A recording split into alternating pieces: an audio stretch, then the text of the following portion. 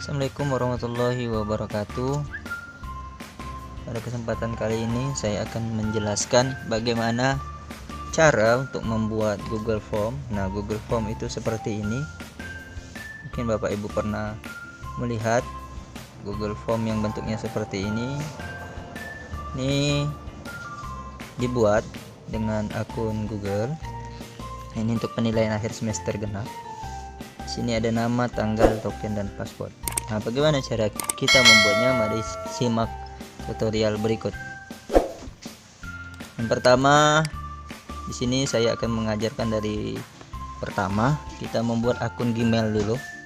Anggap kita belum punya email. Jadi kalau sudah punya email silahkan Bapak Ibu masuk dengan akun Gmailnya masing-masing. Nah, namun di sini saya akan mencoba untuk membuat akun Gmail baru. Klik Gmail nah tampilannya seperti ini. Kemudian pilih gunakan akun yang lain. Karena sudah ada akun di sini kita coba buat akun. Buat akun sebelah kiri untuk diri sendiri. Kemudian beri nama depan Ardi Kusnadi. Kemudian saya kasih Ardi Kusnadi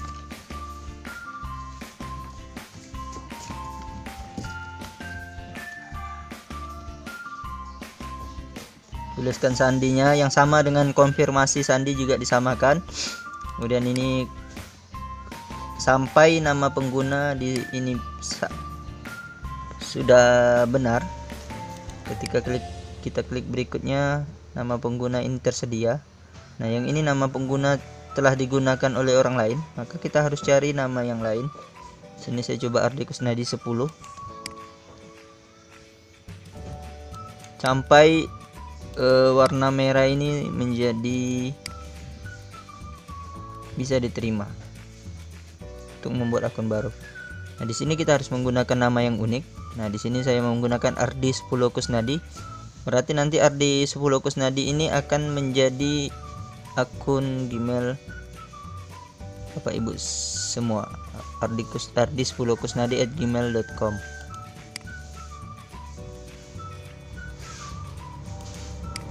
kemudian beri nomor HP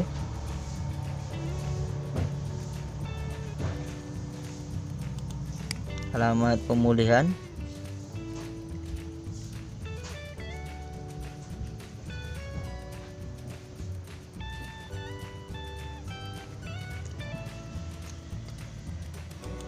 Tanggal lahir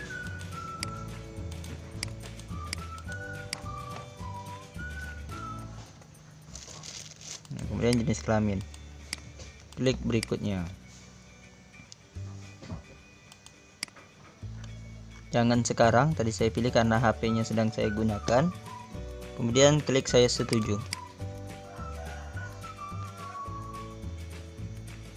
Nah dengan demikian akun Gmail yang kita buat barusan telah jadi. Ingat tadi sangat gampang sekali sebenarnya membuat akun Gmail. Namun yang harus diperhatikan adalah membuat username-nya tidak boleh sama dengan username yang sudah pernah ada sebelumnya. Jadi kita harus membuat akun Gmail yang benar-benar belum pernah digunakan oleh orang lain. Nah jadi bentuknya seperti ini. Ini Gmail untuk email kita nantinya. Klik saja berikutnya kemudian oke. OK. nah kemudian untuk uh, membuat Google Form kita harus buka drive. Klik saja drive di pencarian. Dan klik yang paling atas Google Drive. Dan buka drive Anda.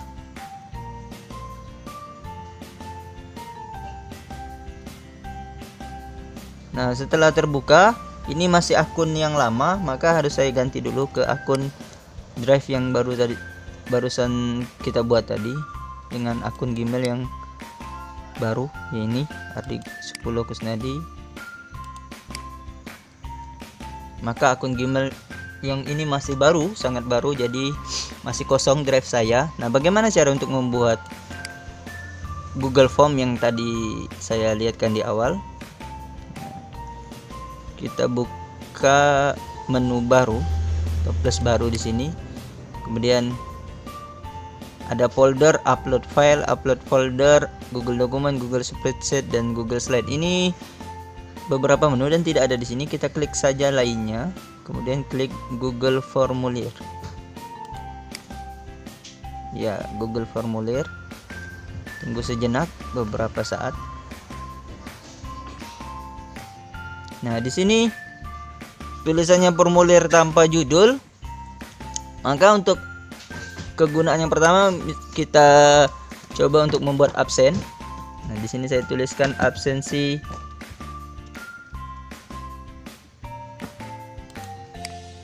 kelas 11 silakan isi absensi berikut. Nah, di sini saya berikan nama untuk formulir ini namanya absensi kelas 11. Kemudian di bawahnya ini deskripsi, saya tuliskan silakan isi absensi berikut. Nah, ini judul. Judul ini akan dijadikan nama untuk foldernya nanti. Nama untuk file ini kemudian beri nama pertanyaan yang pertama misalkan untuk absensi ini yang diperlukan adalah nama maka nama dan bentuk nama di sini ada beberapa pilihan untuk pilihan jawabannya ada jawaban singkat paragraf pilihan ganda kotak centang drop down upload file skala linear kisi pilihan ganda peta petak kotak centang, tanggal dan waktu. Nah, di sini karena nama, nama artinya cukup dengan jawaban singkat. Kemudian wajib diisi. Nah, jadi nama ini wajib diisi oleh siswa nanti ketika kita menggunakan absen ini. Untuk menambahkan pertanyaan berikutnya, silahkan klik tambah.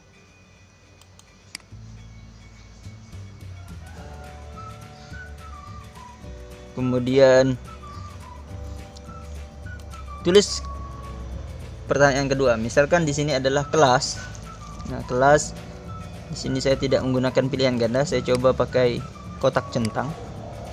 Nah kelas ini saya tulis 11 Mia misalkan dan 11 Is. Di mana nanti mereka hanya bisa memilih salah satu dari kelas ini maka di bawah kita klik titik tiga kemudian validasi respon. Di sini kita berikan validasi. Jadi mereka pilih paling sedikit artinya mereka bisa memilih paling sedikit berapa tergantung pengaturan. Kemudian kalau paling banyak berarti mereka bisa memilih sebanyak berapa dan di sini saya berikan pilih persis. Pilih persis satu. Maksudnya adalah mereka hanya bisa memilih salah satu dari pilihan-pilihan ini. Teks kesalahannya misalkan maaf pilih salah satu kelas. Jadi nanti ketika mereka memilih kedua kelas, maka akan ada peringatan bahwa mereka disuruh pilih salah satu kelas saja. Nah, dan ini wajib diisi juga. Kemudian yang ketiga akan kita masukkan NISN misalnya. NISN ini berbentuk angka, maka jawaban singkat, jawaban singkat. Namun di sini validasi responnya validasi responnya kita buat angka. Validasi respon ini di sini ada angka teks panjang dan ekspresi reguler. Angka ini adalah e, membatasi siswa untuk menjawab angkanya mau kita atur berapa. Misalkan lebih dari kurang dari kurang dari sama dengan atau sama dengan tidak sama dengan. Ini tergantung pengaturan. Antara tidak di antara adalah angka kemudian bilangan bulat. Nah, karena di sini saya menggunakan angka, maka angkanya yang saya mau adalah lebih dari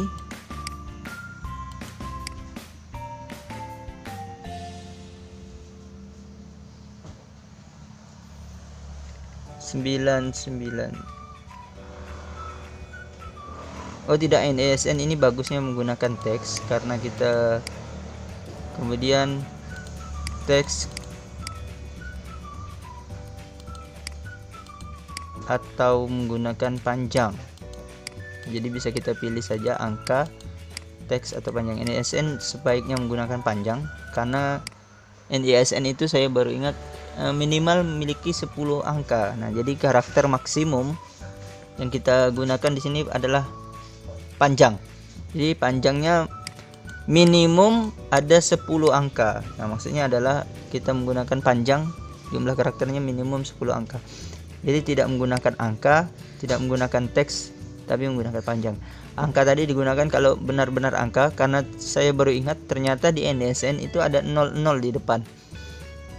Ada juga yang siswa memiliki NSN 00 di depan jadi kita harus memiliki memberikan validasinya bahwa menggunakan panjang minimal 10 karakter maaf NESN yang dimasukkan salah ini ketika siswa memasukkan NSN 1, 2 atau 3 angka saja kurang terlebih. Nanti ketika mereka memasukkan tidak sesuai maka peringatannya maaf NSN yang Anda masukkan salah. Kemudian ini juga wajib dijawab. Kemudian yang berikutnya dalam bentuk tanggal. Misalkan di sini saya tulis tanggal lahir. Nah, tanggal lahir maka otomatis di sini Google Formnya sudah menunjukkan tanggal dan nanti mereka akan memilih tanggal berapa mereka lahir langsung saja wajib diisi sangat simpel sekali kemudian yang berikutnya adalah nama kelas NSN tanggal lahir kemudian yang terakhir adalah tempat lahir. Nah, jadi tempat lahir ini saya tuliskan saja tempat lahir. Karena tempat lahir yang ditanyakan maka jawaban singkat dan teks jawaban singkat saja. Dan ini tidak perlu validasi karena tempat lahir siswa itu beda-beda. Dan ini saya berikan wajib diisi. Untuk melihat hasil dari apa yang telah kita buat silahkan klik tanda perhatiin di sini nah ini nanti siswa akan melihat dalam posisi seperti ini ini saya contohkan ketika saya mengisi Ardi Kusnadi kemudian Nah, ketika kedua-duanya dicentang oleh siswa, maka mereka mendapat peringatan, maaf, pilih salah satu kelas. Nah, sehingga hanya bisa memilih salah satu dari kelas ini. NISN ketika mereka menuliskan uh, tiga karakter saja, hurufnya misalkan tanggal lahirnya, maka terdapat peringatan maaf NISN yang dimasukkan salah, sehingga mereka harus memasukkan minimal 10 digit sesuai dengan pengaturan yang telah kita buat. Tanggal lahir silakan ini saya tes saja misalkan 1 November 2019 tampilannya seperti ini bulan tanggal baru tahun. Tempat lahir misalnya Kalbar. Nah nanti kirim. Nah sudah. Kan mendapat seperti ini. Jadi di sini kita pun akan telah mendapatkan satu respon. Di mana yang tadi yang merespon adalah saya sendiri. Nah, jadi seperti itu. Kira-kira kemudian kita akan mengatur temanya. Ini bisa diberikan tema yang ada disiapkan di sini. Misalkan saya pakai saja yang telah ada di sini. Warna temanya silahkan diganti sesuai keinginan. Misalkan saya ingin mengganti warna ini sesuai keinginan Bapak Ibu silahkan diklik saja. Misal saya contohkan kembali klik tanda plus kemudian cari warna yang diinginkan. Kemudian tambah warna latar silahkan juga diganti sesuaikan dengan warna yang telah ada. Gaya font bisa diganti juga bisa dasar dekoratif formal dan lucu. Sekian tutorial yang pertama untuk membuat aplikasi kelas. Nantikan video tutorial berikutnya. Assalamualaikum warahmatullahi wabarakatuh